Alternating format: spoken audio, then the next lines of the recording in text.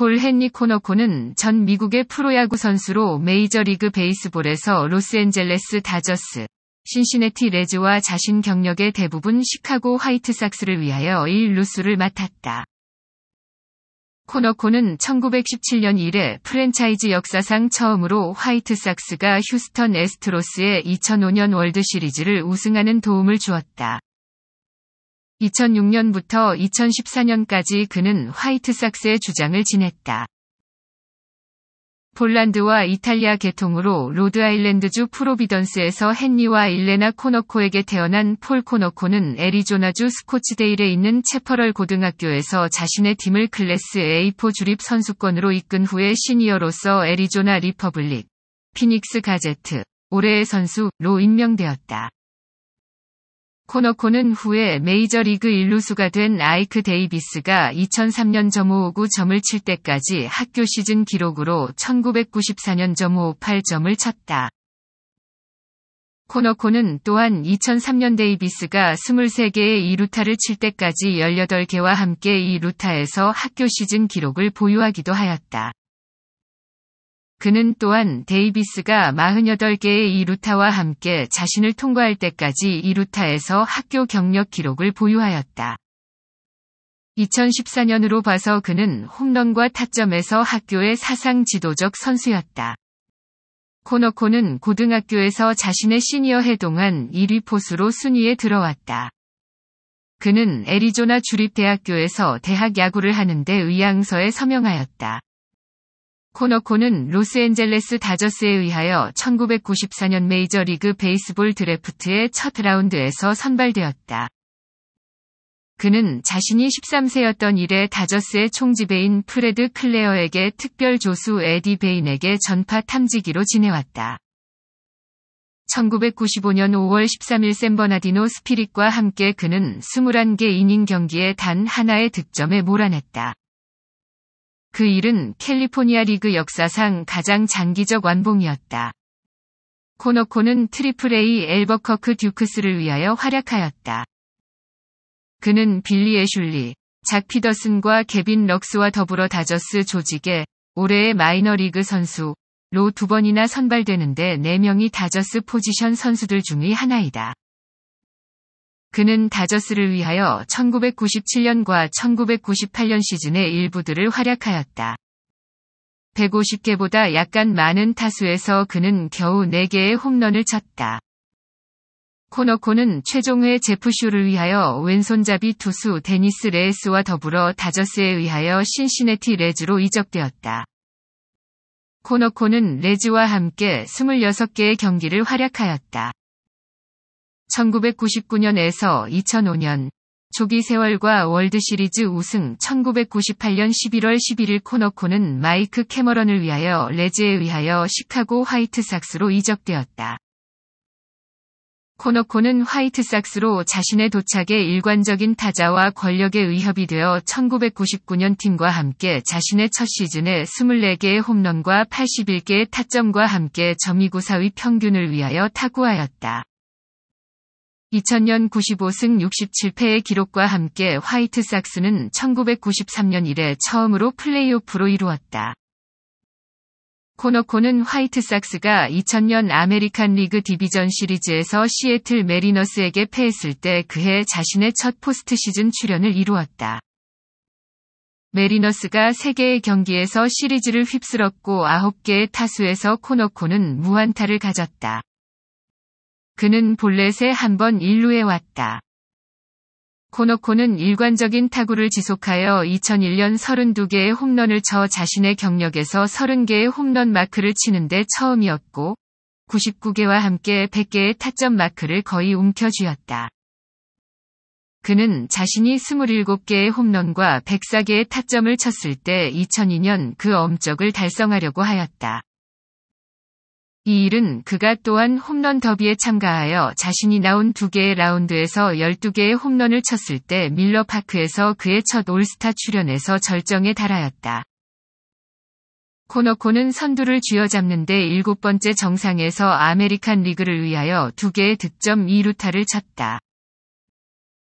방송인들 팀 매카버와 조 벅은 만약 아메리칸 리그가 경기를 이겼다면 코너코가 MVP가 될 수 있었다는 것을 진술하였지만 경기는 동점으로 끝나고 MVP상은 수여되지 않았다.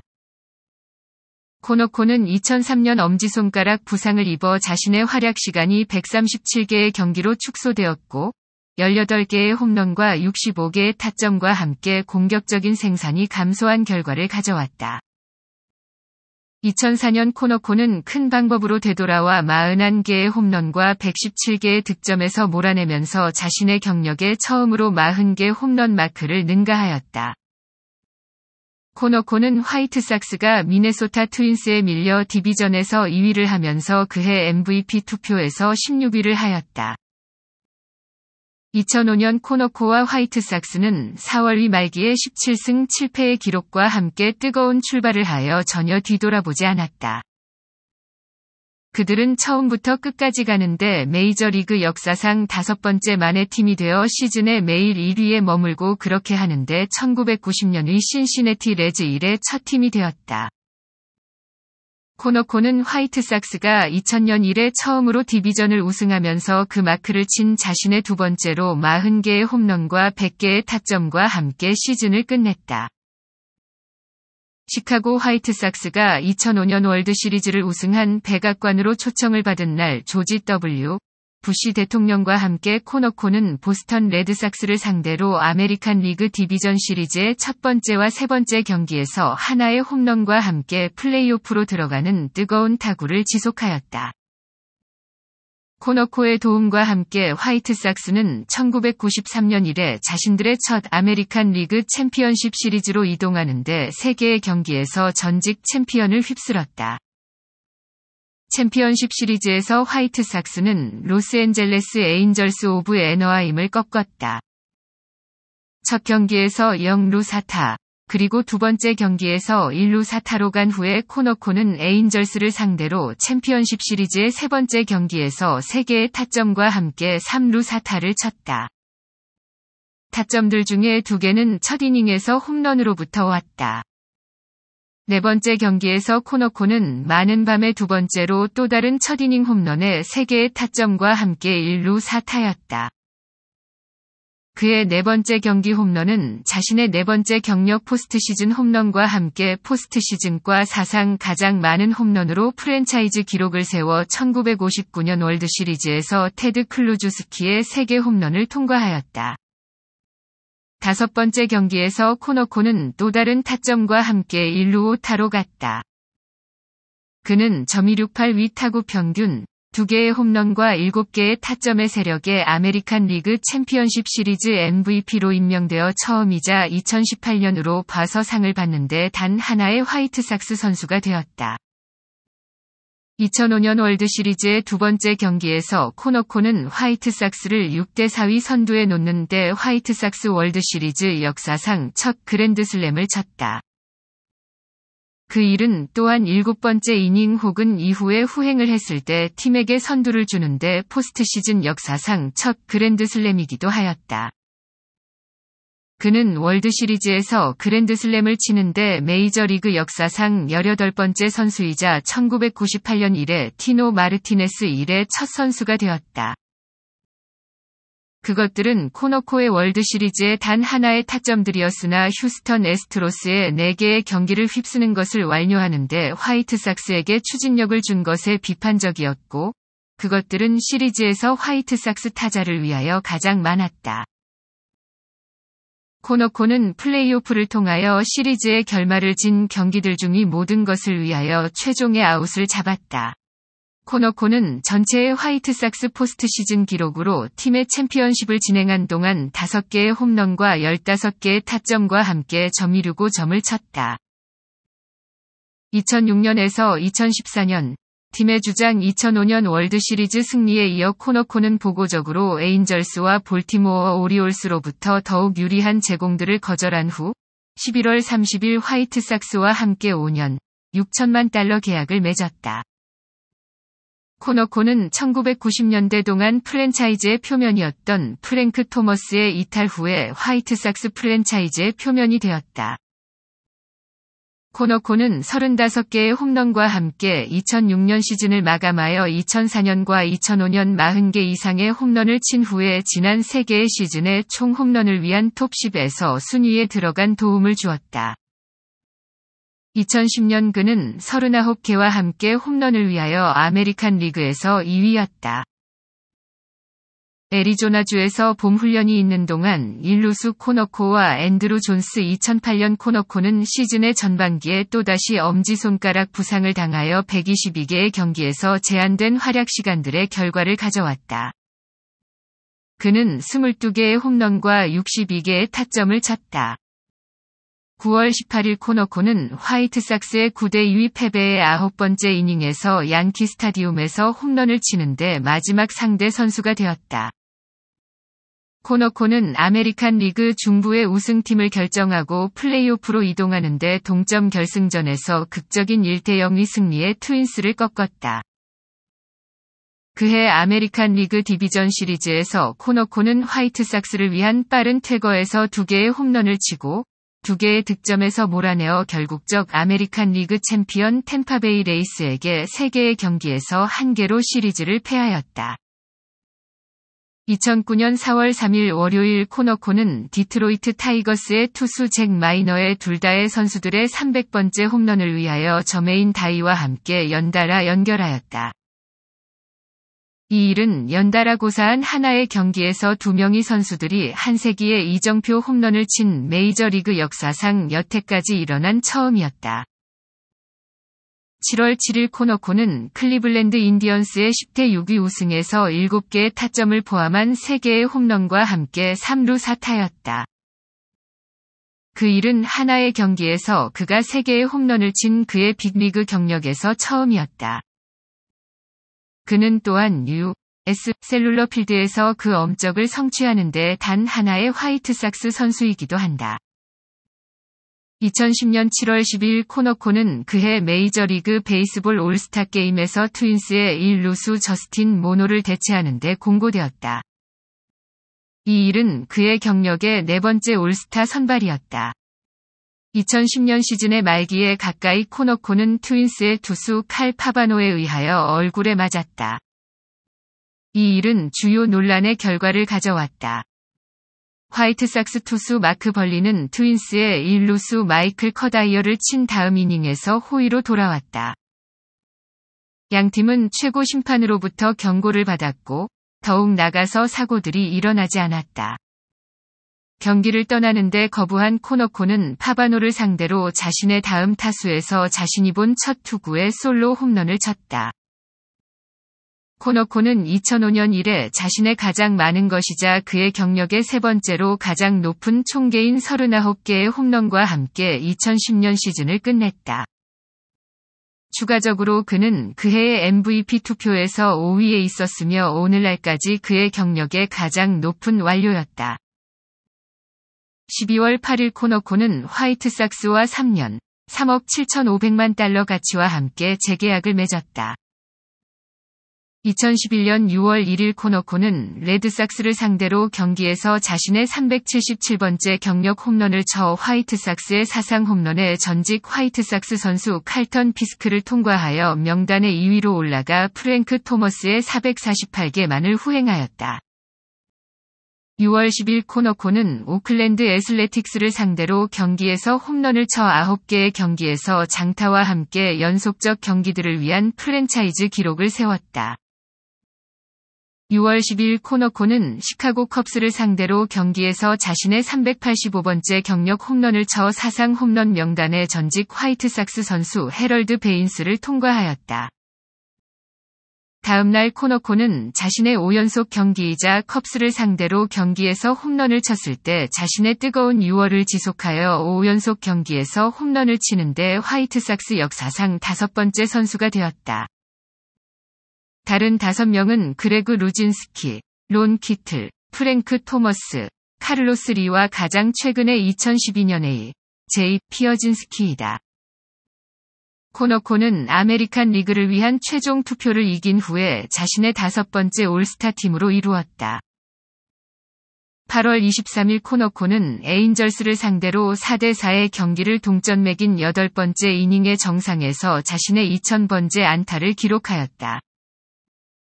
코너코는 30개의 홈런, 105개의 타점과 점삼영형 위 타구 평균과 함께 시즌을 끝내 30개의 홈런과 100개 이상의 타점과 함께 자신이 끝낸 자신의 경력에서 다섯 번째였다. 그해 10월 화이트삭스의 총지배인 케니 윌리엄스는 아지기엔 감독의 이탈 후 화이트삭스를 위하여 코너코를 선수 겸 감독으로 임명하는 것에 잠시 숙고했던 것을 인정하였다. 하지만 윌리엄스는 코너코와 가능성을 전혀 논의하지 않았다.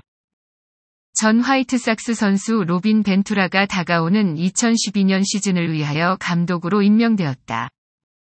1986년 레즈를 위한 능력에 피트 로즈가 지냈던 이래 메이저리그 베이스볼에서 선수 겸 감독이 있지 않았다. 11월 코너코는 필라델피아 필리스의 1루수 라이언 하워드와 더불어 애리조나 폴리그 명예의 전당으로 헌액되었다. 2012년 디트로이트 타이거스를 상대로 경기에서 2012년 4월 25일 코너코는 자신의 400번째 경력 홈런을 쳐 알 칼라인과 안드레스 갈라라가를 통과하였고 400개의 홈런을 치는데 메이저리그 역사상 48번째 선수가 되었다. 코너코는 4월 23일에서 29일의 주를 위하여 아메리칸 리그 이번 주의 선수로 임명되었다. 그는 3개의 홈런과 4개의 타점과 함께 점사 3호점을 쳤다.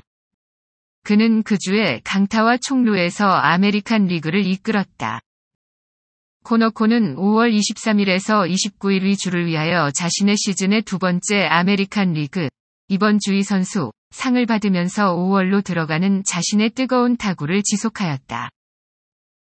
그는 화이트삭스의 일원으로서 자신의 400번째 경력 홈런을 포함하여 3개의 홈런, 10개의 타점과 14개의 연속 타격 경기와 함께 점583점을 쳐 프랭크 토머스가 처음이면서 400개의 홈런을 치는데 프랜차이즈 역사상 두 번째 만의 선수가 되었다.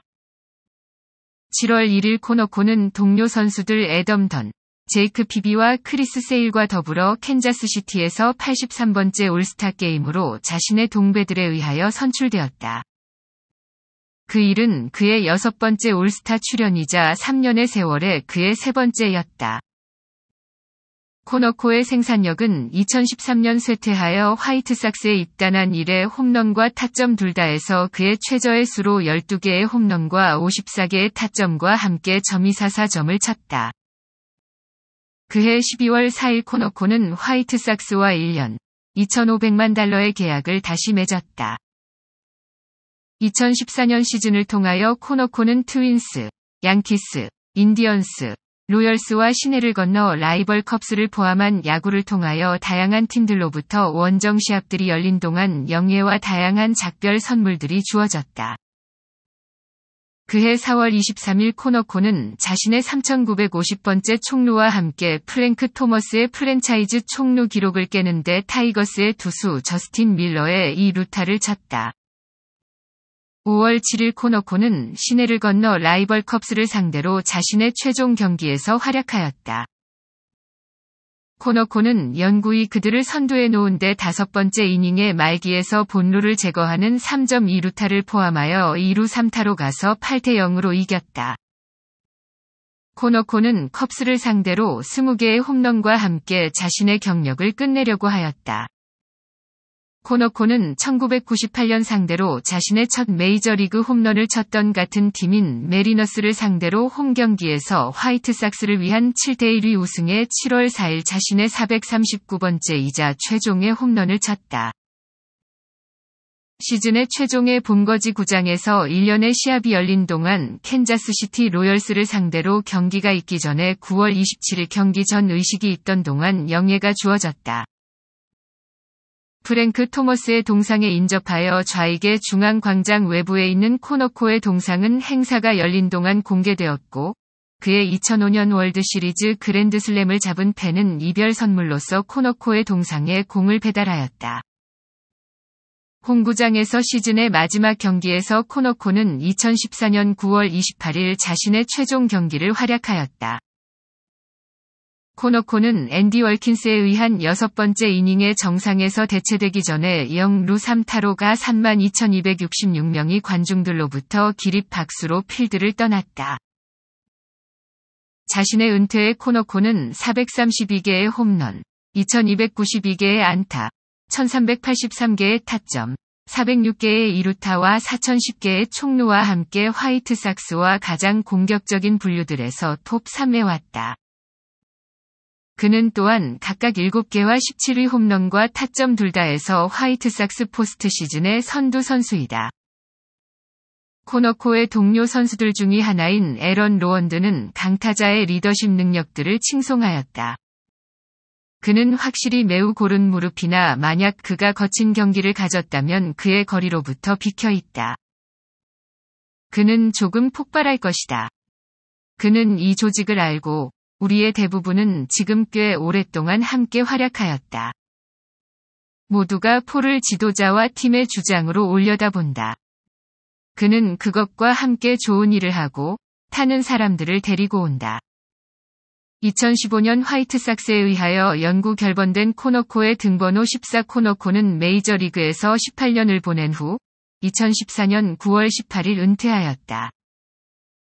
코너코의 2349개의 경력 경기 중에 81개를 제외한 전부는 화이트삭스와 함께 활약되었다.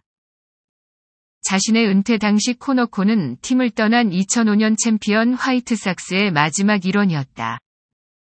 그것은 그의 등번호가 연구 결번될 것이라고 폴 코너코의 날에 공고되었고, 중앙광장의 좌익에 코너코의 동상이 공개되어 화이트삭스에 의하여 그렇게 영예를 받은 아홉 번째 선수가 되었다.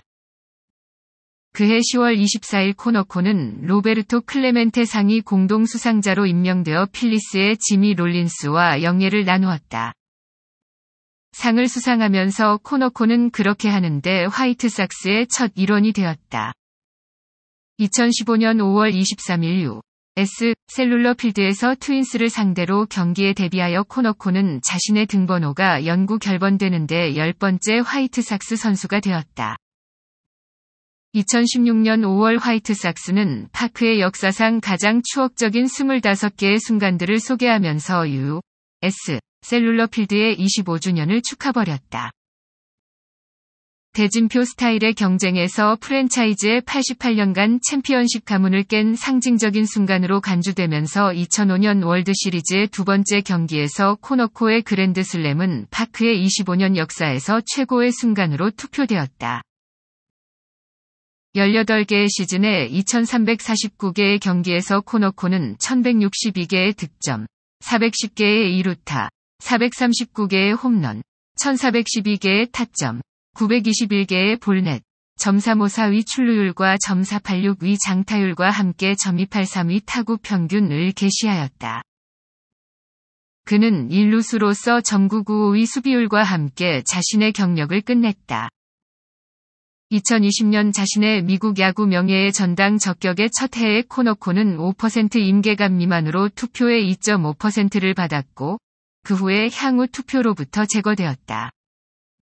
시청해주셔서 감사합니다.